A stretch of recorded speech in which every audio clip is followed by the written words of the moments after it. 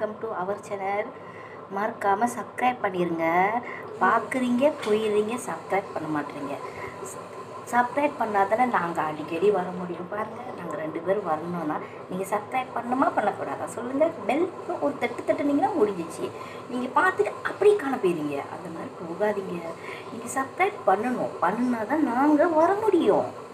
இப்போ சொல்லுங்கள் இன்றைக்கி என்ன சமைக்கணுன்றதை நாங்கள் சொல்கிறோம் உங்களுக்கு இது வந்து நான் அன்னைக்கு பிரியாணி செய்ய போகிறேன் சிக்கன் பிரியாணி செய்ய போகிறேன் சிக்கன் பிரியாணி செஞ்சுட்டு எப்படி செய்யணும்னு உங்களுக்கு சொல் சொல்கிறேன் வெஜிடேரியன் சிக்கன் பிரியாணி. இது வெஜிடேரியன் சிக்கன் பாருங்கள் இது கேப்சி சிக்கன் மாதிரியே இருக்கும். நல்லா பாருங்களேன். இது வந்து காளானில் செஞ்சது. இது கேப்சி சிக்கன் மாதிரியே இருக்கும். இது காளானில் செஞ்சது. நல்லா இருக்கும். சாப்பிட்டா இதை செஞ்சு காட்டுறேன். வாங்க போகலாம் மறக்காமல் வெள்ளத்தட்டை மறந்துடாதீங்க. சமைக்க வேண்டியது. நான் மூணு கோலை பிரியாணி ரைஸ் எடுத்துக்க போகிறேன் பிரியாணி மூணு கோவில தான் செய்ய போகிறேன் ஒன்று ரெண்டாவது போட்டுட்டேன். மூணாவது போட்டு ஒரு பத்து நிமிஷம் ஊற போட்டால் போதும். பாருங்க அலசிட்டு ஒரு அலசி அலசி தண்ணி ஊற்றி வச்சிட வேண்டியதான் வச்சுட்டு ஒரு பத்து நிமிஷம் பத்து நிமிஷம் ஊற போட்டு கல் அலசி எடுத்து வச்சிட வேண்டியது தான் போதும். அரிசி ஒரு பத்து நிமிஷம் ஊற வச்சிட்டேன். இப்போ நம்ம கழுவிட்டு அலசிட்டேன் ஒரு தட்டில் ஊற்றி எடுத்து வச்சுக்க வேண்டியதுதான். நெய்யில் ஒரு கரண்டி நெய் போட்டு ஒரு கரண்டி நெய் போட்டு பாருங்கள் பீக்கங்காய் தோல் வெங்காயம் ஒரு நாலு வெங்காயம் சின்ன வெங்காயம் நாலு கேரட் ஒரு சின்ன கேரட்டு. போட்டு நெய்யில் வதக்கிட்டு பிளாண்டர் பண்ணிக்கணும்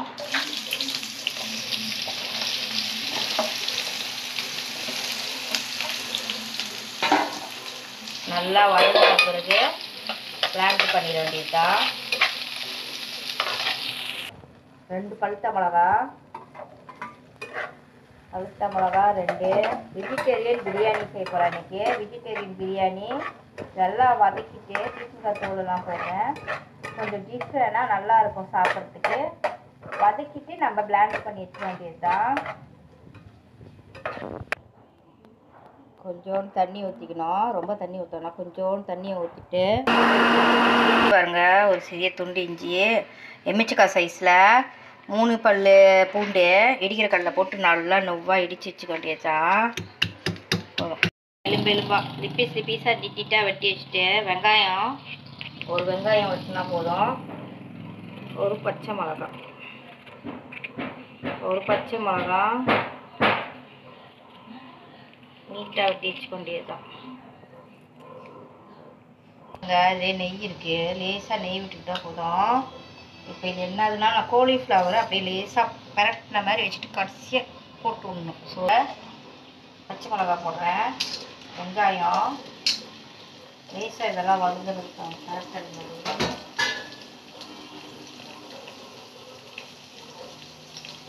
போட்டு எண்ணெயில் வதக்கிட்டு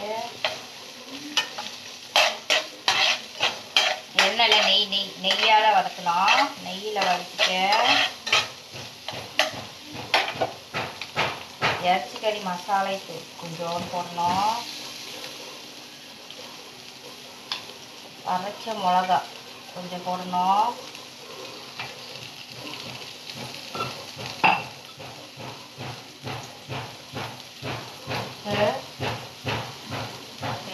உப்பு, உப்பு போட்டுட்டு இதில் காலிஃப்ளவர் போட்டு போட்டு அடைச்சிட வேண்டியதுதான். இது வந்துருக்கக்கூடாது. ஏன்னா பிரியாணியில் போட போகிறேன் கேப்சி சிக்கன் பாருங்கள் இதை வெட்டணும்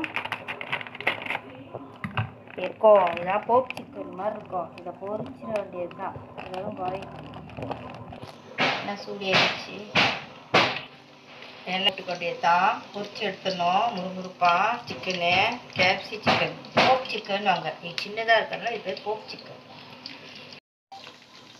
இப்போ பிரியாணி ஆக்கிறதுக்கு வேண்டிய தூளுங்க. பிரியாணி இது குருமாத்தூள் இருக்குல்ல?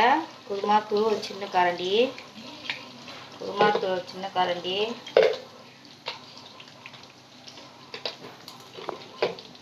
இறைச்சி கறி மிளகாத்தூள் அதே மாதிரி ஒரு ரெண்டு கரண்டி இறைச்சி கறி மிளகாத்தூள் சின்ன கரண்டியில்.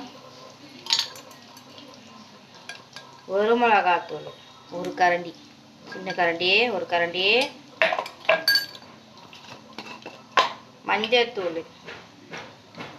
சிறிய கரண்டி அளவு. அவ்வளோதான் நாலு விதமான தூளுங்க போடணும். இந்த மாதிரி தூள் கலராக வந்தோடனே நம்ம எடுத்துட வேண்டியதான் கேப்சி சிக்கனை எண்ணெய் ஒரு கரண்டி எண்ணெய் ஊற்றணும் கரண்டி ரெண்டு கரண்டி நெய் போட்டுக்கணும். நெய் ரெண்டு கரண்டி போதும்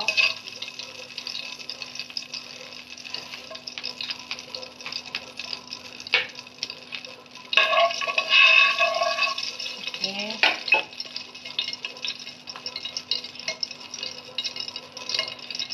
தாளிக்கிறதுக்கு வேண்டியது பிரியாணிக்கு வேண்டியது வா பூ இது வந்து ஏலக்காய் கிராம்பு பாருங்க தான் கிராம்பு இது பூ பூ பட்டை பூண்டு இடிச்சு வச்சுருக்கேன் இஞ்சி இடிச்சு வச்சுருக்கேன்.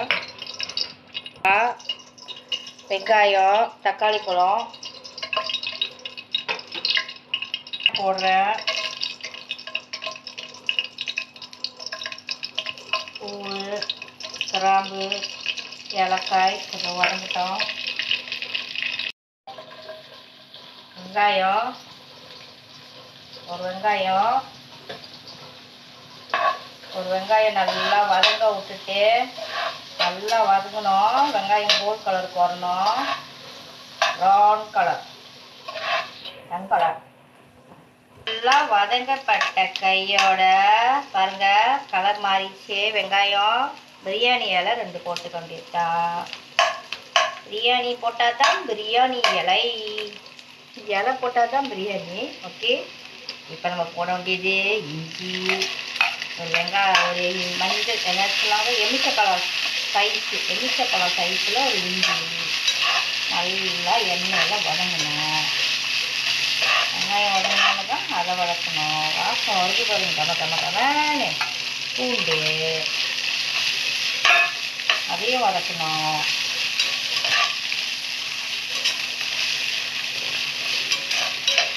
பாசத்துக்கு ஒரு பச்சை மிளகா வெட்டி போட்டுக்கணும். வெட்டி போட்டு வதங்கும் போது சின்னதாக வெட்டி தக்காளி பழம் போட்டுக்கணும். போட்டுட்டு மிளகாத்தூள் மிளகா காட்டினேன். நாலு விதமான மிளகாத்தூள் கொஞ்சம் கொஞ்சம் இதில் போட்டு பண்ணிட்டோம்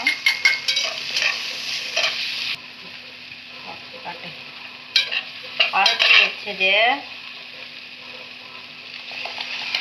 வச்சது பீக்கங்காய் தோல் எல்லாத்தையும் இதில் அரைச்சேன் பாருங்கள் அதை போட்டு இதை நெய்யிலே வதக்கி இந்த வாசனை வர வரைக்கும் வதக்கணும். உப்பு போடணும். தேவையான ஒரு கரண்டி உப்பு போட்டால் போதும். ஏன்னா உப்பு அது இதில் நான் போட்டுக்கிட்டே இருக்கல உப்பு ஒரு அளவு போட்டு கடைசியாக பாருங்கள் தண்ணி ஊற்ற உப்பு கரெக்ட் பத்துலலாம் இன்னும் கொஞ்சம் நம்ம தம்பா பண்ணிக்க வேண்டியது தான் வச்சுட்டு போயிட்டு இந்த நல்லா வதங்கும் போது இந்த பச்சை வாசனைலாம் போய் மேலே அப்படியே இந்த நெய் வெளியாக பாருங்க நெய் ஊற்றுனது நெய்யே ஒரே ஒரு காண்டி எண்ணெய் தான் ஊற்றினேன் ஏன்னா ஏன் ரெண்டு காண்டி நெய் போட்டோம்னா நான் ஆக்க மூணு கோல அரிசி தான். அப்போ கொஞ்சமாக செய்கிறேன் பாருங்க. நிறையா செய்தால் நம்ம நிறையா நெய் பாய்க்கலாம். பிரியாணி அரிசி இதிலே போட்டுருணும் மூணு குளம் பிரியாணி அரிசி மூணு குளம் பிரியாணி அரிசிக்கு நான் ஆறு குடம் தண்ணி தான் ஊற்றுவேன் கரெக்டான தான் இருக்கும். நீங்கள் பிரியாணிக்கு எப்போது எத்தனை குளம் ஊற்றுறீங்களோ அந்த மாதிரியே ஊற்றிக்கலாம்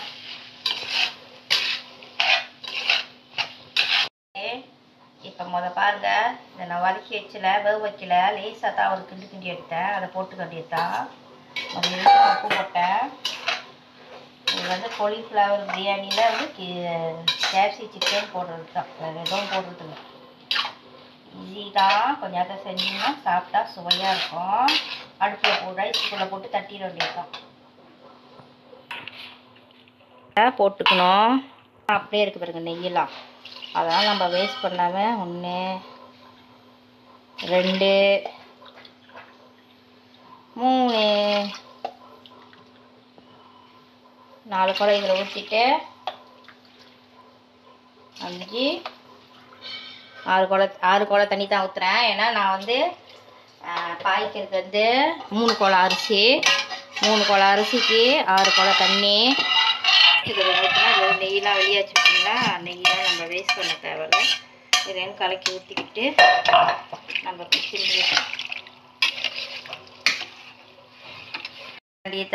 மூடிட்டு ஆன் பண்ணிட வேண்டியதா பிரியாணி ரெடி ஆச்சு பாருங்க பிரியாணி. பிரியாணி ரெடி ஆகிடுச்சுன்னு இந்த மாதிரி ஒரு கரண்டி ஆப்பை எடுத்து லேசாக அப்படியே பொன் மாதிரி மெல்லமாக கிளறணும். மெல்லமாக கிளறணும். ஏ பாருங்க மெல்லமாக கிளறணும். பிரியாணியை வேகமாக கிளறணும். சோறுலாம் உடஞ்சிரும். சைட்லேன்னு மெல்ல மெல்லமாக எடுத்து பார்க்கணும். எடுத்து பாட்டே இந்த பாத்திரத்தில் போட போகிறேன் பாருங்கள் ஒரு பாத்திரத்தில் போட்டுட்டு இந்த பொறிச்சி வச்ச இந்த கேப்சி கோழி போப் சிக்கன் வெஜிடேரியனோட போப் சிக்கன் இது வந்து சோயாவில் செஞ்சது தான். சோயா வெள்ளைக்காலெல்லாம் போட்டு செஞ்சுருக்குறாங்க. அப்புறம் இப்படி வரிசையாக போட்டுட்டு.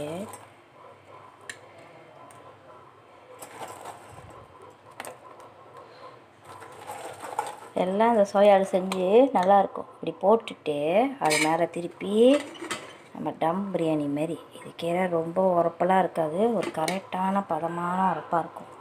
புதையல் மாரி பார்த்தீங்களா இந்த சோறு கிளறுனாலும் இதுக்குள்ளே இருக்கும். இதுக்குள்ளே நம்ம புதைய புதையலை ஒடி வைக்கிறோம். ரகசியமாக போப் சிக்கனை வந்து இதுக்குள்ளே பதுக்குறோம். பிள்ளைங்க எடுக்கும்போது பார்க்கோங்க. என்ன அது உள்ளுக்கு கிளறுனா வித்தியாசமாக இருக்கே பார்க்கோங்க. இதுதான் போப் சிக்கன் வந்து இப்படி போட்டுக்க வேண்டியது தான் போட்டுக்கிட்டு மேலே போட்டு கிளறிக்க வேண்டியது தான் இப்போ பார்த்தீங்களா டெக்கரேஷன் பண்ணியாச்சு. இதுதான் வெஜிடேரியன் சிக்கன் இந்த சிக்கன் வந்து போப் சிக்கன் மேலே பார்த்தீங்களா அப்படி பொறிச்சு வச்சுருக்கோம். வெஜிடேரியன் போப் சிக்கன் பாருங்க பிரியாணி. பிரியாணி வெஜிடேரியன் பிரியாணி பார்த்தீங்களா லெக் பீஸ் இது வந்து போப் சிக்கன் படுத்துருக்கு பார்த்தீங்களா பிரியாணியில் ஓகே ஹாய் இப்போ நாங்கள் சாப்பிட போகிறோம் பாருங்க போட்டு வந்துட்டாரு பையன் வந்துட்டான். முதல்ல சாப்பிட்றதுக்கு முந்தி கொஞ்சம் தண்ணி குடிச்சு கொண்டிருக்கான் சுத்தண்ணி கொஞ்சம் குடிச்சு கொஞ்சம் நினச்சிக்கணும். இதுக்கு வந்து நம்ம குருமா செய்யறதுனா குருமா செஞ்சுக்கலாம். அப்புறம் இந்த வெள்ளையருக்கெல்லாம் போட்டு இது ஒரு பச்சடி மாதிரி செய்வாங்களா அது கூட செஞ்சுக்கலாம். நான் ஒன்றும் செய்யல. வெறும் பிரியாணி தான் சாப்பிட போகிறோம் டேஸ்ட் பண்ண போகிறோம் பிரியாணி பாருங்கள் ஓகே சாப்பிட்டுக்கிறோம்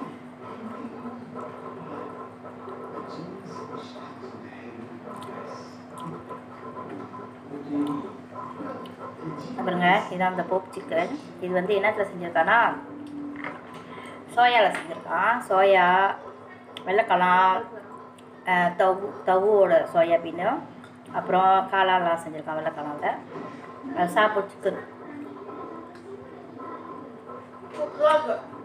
அதான் இருக்கும் வெஜிடேரியன் சிக்கன் நம்ம சம்பால் செஞ்சோம் அது மாவில் பொரிச்சிக்கனால சம்பால் செஞ்சாலும் நல்லா தான் இருக்கும். ஆனால் கொஞ்சம் டிஃப்ரெண்டாக அப்படி சாப்பிட்லாமேன்னு நான் செஞ்சேன்.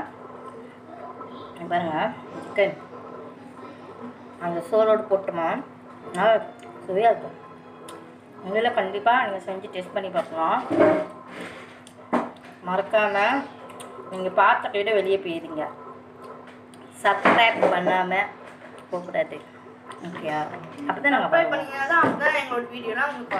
நாங்கள் வரணும்ல அதனால வரணும் உங்களெல்லாம் பார்க்கணும் இவங்க நாங்கள் பார்த்து இவங்க கூட பேசிட்டு. இந்த மாதிரி சுவையான சமையல். அதான் டிஃப்ரெண்டா உங்களுக்கு அவங்க கொடுக்குறது நீங்கள் செஞ்சு பார்த்துட்டு நீங்கள் சொன்னீங்கன்னா எங்களுக்கு கொஞ்சம் ஹாப்பியாக இருப்போங்க.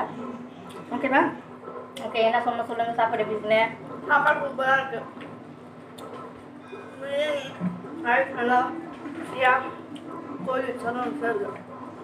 பிரியாணி ரைஸ் கரெக்டாக வெந்திருக்கு.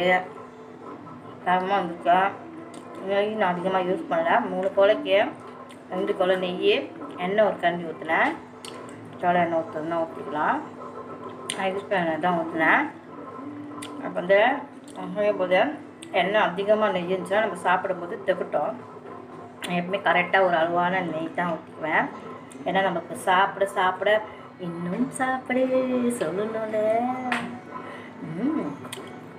இன்னும் சாப்பிட இன்னும் சாப்பிட இன்னும் சாப்பிடுன்னு பிரியாணி முடிஞ்சு போயிடும் நாங்கள் இருக்கிறது வீட்டில் மொத்தமே வந்து ஆறு பேர் இருக்கோம். இப்போ வந்து அஞ்சு பேர் தான் இருக்கோம். ஒருத்தர் ஹஸ்பண்ட் வந்து சிங்கப்பூரில் இருக்கார்ல. அதனால் அஞ்சு பேருக்கு நாங்கள் மூணு பழம் பிரியாணி ரைஸ் பார்க்கணும் முடிஞ்சிடும்னு நினைக்கிறேன். முடிஞ்சிச்சுன்னா வேறு ஏதாவது செய்ய வேண்டியது தான் ஓகே பாய் இந்த வீடியோ பிடிச்சிருந்தா லைக் பண்ணுங்க ஷேர் பண்ணுங்க சப்ஸ்கிரைப் பண்ணுங்க. பக்கத்துல bell தட்டுங்க. அப்பதான் நாங்கள் சரி வீடியோ உங்களுக்கு வரோம். அப்புறம் நாங்கள் என்ன கூட உங்களுக்கு தெரியாது. டிஸ்கிரிப்ஷனில் பார்க்கலாம். மறக்காமல் பார்த்துங்க டிஸ்கஷனில் அப்புறம் சப்ஸ்கிரைப் பண்ண மறந்துடாதீங்க. சப்ஸ்கிரைப் பண்ண மறந்துடாதீங்க. ஓகேயா பெல் அமுக்க மறந்துடாதீங்க. பாய் மீண்டும் சந்திப்போம். திருப்பியும் சந்திப்போம். பார்ப்போம்.